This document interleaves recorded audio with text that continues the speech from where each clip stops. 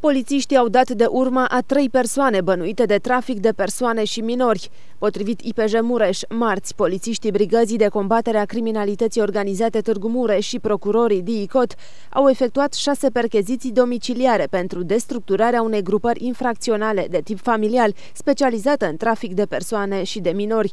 Din cercetări a reieșit că în perioada 2009-2013, cei în cauză ar fi recrutat persoane de pe raza municipiului Târnăveni pentru a cerși câte peste trei luni în Marsilia, în favoarea grupării infracționale.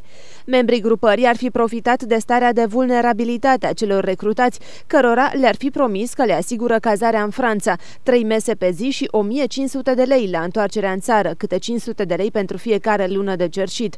De asemenea, s-a stabilit că, înainte de a părăsi țara, doi preoți din municipiul Târnăveni ar fi profitat de teama de divinitate a victimelor și le-ar fi determinat să depună un jurământ. Astfel, acestea se obligau să predea membrilor grupării toți banii obținuți din cerșit și să respecte perioada de recrutare de trei luni.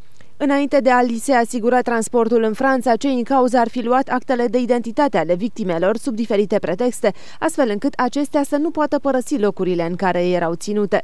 În urma perchezițiilor au fost ridicați 3610 euro și s-a dispus indisponibilizarea unui autoturism. De asemenea, au fost puse în executare 5 mandate de aducere, iar față de 3 persoane s-a luat măsura reținerii pentru 24 de ore, sub aspectul comiterii infracțiunilor de constituire de grup infracțional infracțional organizat, trafic de persoane și trafic de minori. Acestea urmează să fie prezentate magistraților Tribunalului Mureș cu propunerea de arestare preventivă. Activitățile au beneficiat de suportul de specialitate al Direcției Operațiuni Speciale Inspectoratul General al Poliției Române.